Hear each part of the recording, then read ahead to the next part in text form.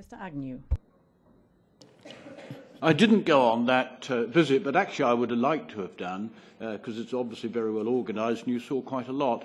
I did, in 2009, drive from top to bottom of Finland uh, along the eastern side, and it was very interesting with the road maps, whereas Finland has a good network of properly tarmac roads, over the border in Russia, there were hardly any roads marked on the map at all. And that struck myself and my wife the difference between capitalism and communism. That Finland had managed to make a country that was uh, pleasant to live in just through politics.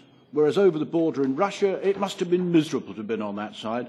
Uh, I just wondered, um, Mrs. Katainen, if you could tell me if there's still a sugar beet industry in Finland. I know there used to be, but is there still now? Would you like to di uh, reply directly to that question?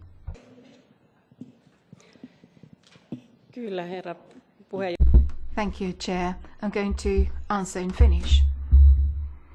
In Finland, uh, as regards the farming of sugar beet is concerned, there are very few farms still farming sugar beet because it has been downgraded. It's only the southwest part of the country where there are a couple of farms.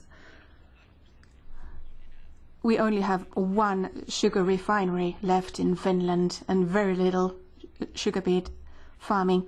So in the recent years, it has been really gone down the hill. And thank you very much also to all the colleagues who participated in this delegation trip. And thank you for these warm words and welcome to Finland again in future. I hope you come back.